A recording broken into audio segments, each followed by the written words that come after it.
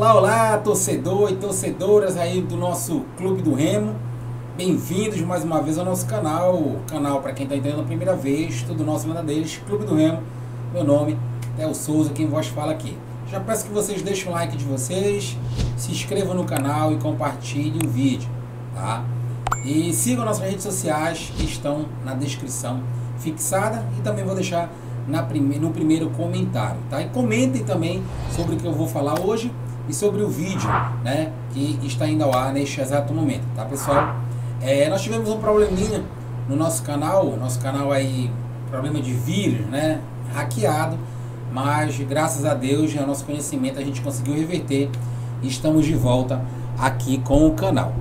Hoje nós vamos falar aí, Pikachu falou do Clube do Remo, é, falou uma verdade de uma das coisas que ele falou, o futebol paraense só pensa em estadual e por isso não sai do lugar. Ele que disputou Libertadores pelo Fortaleza, né, saiu aí do Brasil, voltou, foi pegar a ponta, voltou e está disputando, né, vai disputar aí a primeira divisão do Campeonato Brasileiro lá no ano que vem.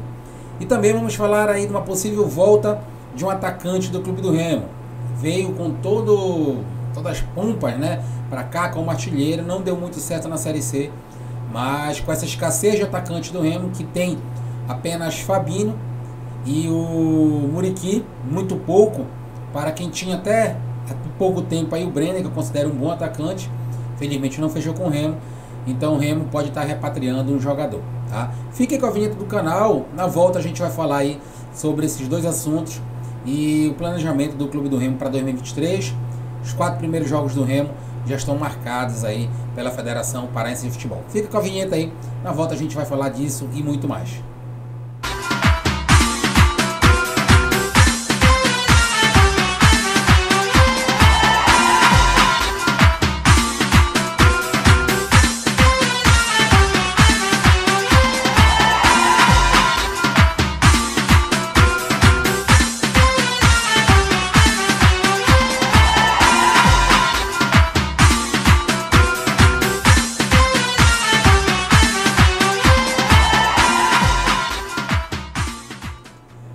Bom, bom, vamos lá. Vamos começar aí pelo caso do atacante, ex-atacante do Clube do Remo que pode estar voltando para Leão Azul. Vanilson, né, veio para Belém, sendo artilheiro lá, lá, na Arábia, foi artilheiro em Manaus, no Remo, não teve muitas oportunidades. E as oportunidades que teve não agradou uma boa parte do torcedor azulino. É, o jogador ainda está desempregado, tem aí a provável ida dele para dois clubes, mas dois clubes inferiores ao clube do Remo. É, e o Remo hoje é uma vitrine muito boa porque paga em dia, né? nem pela divisão, mas sim porque é o clube que está praticamente sanado financeiramente com a justiça do trabalho e por isso pode pagar em dia os jogadores. Então isso seria um bom atrativo para o atacante Vanilson, né?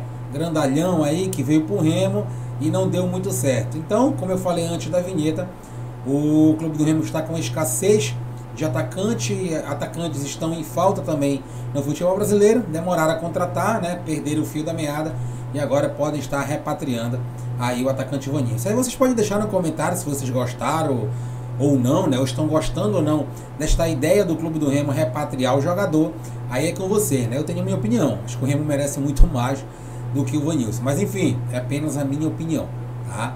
Então o Vanilson pode estar sim é, para fechar com o clube do Remo a qualquer momento. O Remo deu férias para os jogadores, férias, né? Ainda estou na, na época das férias, é porque o Remo está de férias. Deu folga para os jogadores neste Natalzão aí e os jogadores já voltaram a treinar. É, vão ganhar outra folga aí também no ano novo, é normal, mas o Remo que se antecipou este ano, né? Pelo menos deu um sinal de um bom planejamento e está em treinamento para a temporada 2023 que não vai ser fácil, vamos ter estadual, para mim é uma obrigação o Remo conquistar esse estadual. A gente sabe que tem nosso freguês, nosso rival, com todo respeito, mas o Remo já se antecipou. Aí o Remo tem obrigação de conquistar esse estadual, o bicampeonato paraense. O Remo que vai disputar a Copa Verde, que vai ser agora no primeiro semestre né, do ano que vem. Acho que o Remo também tem obrigação de ganhar, ou no mínimo chegar numa final, mas como eu penso grande, o Remo tem sim que ganhar essa Copa Verde para dar uma resposta para o torcedor que não pôde ver o Remo nesta Copa Verde 2022 para justamente antecipar esse planejamento. Então, se foi feito essa, esse planejamento e esse planejamento passou por não disputar a Copa Verde, né, que o rival acabou sendo campeão, acho que o Remo tem que dar a resposta dentro de campo. Vamos ter a Copa do Brasil, a gente sabe que é muito difícil, mas não custa nada sonhar com o Remo, quem sabe numa terceira fase da Copa do Brasil, pegando bons valores. E a quarta e principal competição brasileira da Série C, né? Que o Remo vai disputar mais uma vez e vai tentar chegar à Série B, se Deus quiser, né? Vai conseguir aí, seria lindo com o bicampeonato pa brasileiro, né? Bicampeonato paraense e bicampeonato brasileiro também, campeonato esse que conquistamos em 2005, né? Então, seria importante o Remo fazer o que fez em 2020, voltar para a Série B e ficar lá, né? Não ser rebaixado em 2024. É isso que a gente espera, é isso que o canal espera né? Porque é muito ruim o Remo ficar de férias, todo mundo perde. O torcedor, o clube do Remo, o canal, né? Quem ama o clube do Remo, assim como eu, assim como você, todo mundo sai perdendo. E agora eu vou deixar o vídeo, né, do Iago Pikachu aí, Hidro, lá do outro lado, que, como eu falei anteriormente, saiu, né, voltou agora, voltou pro Fortaleza, voltou cheio da ponta aí e deu uma entrevista, né, no podcast. Vou deixar o link na descrição também para vocês acompanharem lá completo tá? o vídeo lá do, do canal e a entrevista também do Pikachu, para quem quiser acompanhar vai ficar aí na descrição. E eu fiz um corte da parte aí que ele fala, né? Na dupla repá e o porquê do futebol paraense não sair do lugar. É, uma opinião simples, não tem como discordar, e infelizmente é a realidade, tá galera? Então, peço para vocês que ainda não deixou o like, senta o dedo no like, se inscreve no canal, compartilha nosso vídeo, que é muito importante, né? O ano está acabando, graças a Deus. Vamos entrar com tudo ano que vem, energia positiva para a gente conquistar o Biparaense, ganhar essa Copa Verde e subir de divisão para a Série B, que é o mais importante. Tá, galera? Valeu, um abraço no coração de todos aí. Fui. Muito bem, né, mano? Nossa, Eu acho que a gente tem que falar do Fortaleza. Não, Fortaleza, tá Fortaleza é. Né, é exemplo por dois daqui. Eu quero que tu fale isso de novo, mano. Porque. Sem a boca cheia, sem a boca não, cheia. Porque, mano. Todo mundo que fala de futebol paraense fala assim, nos anos 90, Remo Paysandu dava porrada em Fortaleza e Ceará. E, mano, faz 30 anos, anos 90. E quem tá falando... E parou, e parou né? Nos anos 90. Parou no, parou no peso da camisa, Tá falando desse Tirando a rivalidade, mano, porque graças a Deus tive, tenho, tenho respeito de, pô, da maioria da torcida do Remo, maioria da torcida do Flamengo, do Ceará lá. Porque eu nunca, mano, nunca foi de, de respeitar eles. Sim, porque sim. eu não sei o dia de amanhã, né, mano? Uhum. Claro. Não sei o dia de amanhã, um dia eu posso estar jogando no, neles.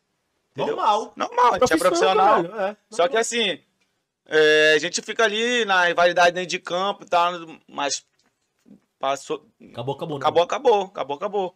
Então é mais ou menos isso. Tipo, repassando esse exemplo dos caras aí, mano. Um, a rivalidade dos dois lá é só no campo.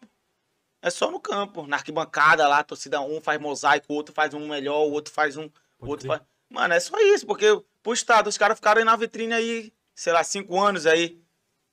Todo, todo fim de semana tinha um time grande jogando lá em Fortaleza, pô. Libertadores. Libertadores. Isso aí é uma, aí, isso é uma coisa aí, que magoa pra caralho. Aí o Ceará, aí o Ceará caiu. É ruim. É ruim pro, pro estado. É ruim pro estado. Entendeu? Mas. Vida que segue, né, mano? Mas, mas é, o, os dois daqui tem que seguir o exemplo de lá, pô. Os caras só estão preocupados em ganhar estadual, pô.